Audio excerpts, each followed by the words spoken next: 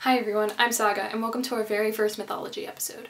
As promised, we will be focusing on Norse mythology this month, with our first goddess being Saga.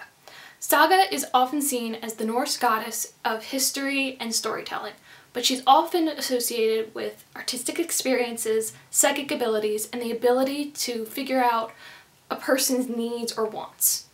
She's also a figure of femininity, uh, divination, and inspiration. Now Saga is sometimes depicted as the goddess Frigg's attendant. This means she is the second most powerful goddess in Norse mythology. Saga is often seen as an aspect of her, of memory and the past.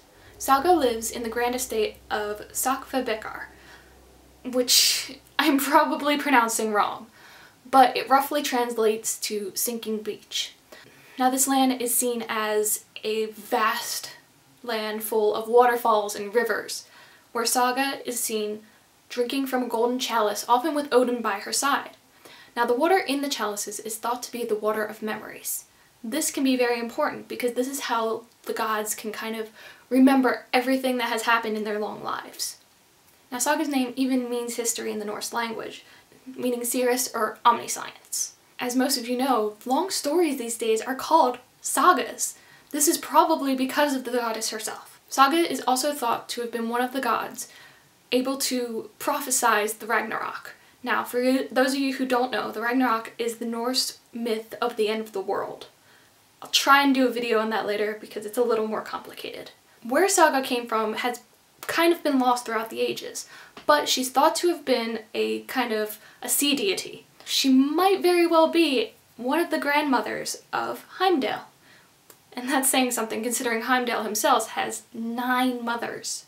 Now, unfortunately, there is not a lot of information about Saga out there because a lot of people mistakenly translate the things about her into things about Frigg because they are so closely related. So, unfortunately, I don't have a lot of information about her. At least not as much as I'd like. But what I did find, I really, really thought was interesting. And I hope you guys did too.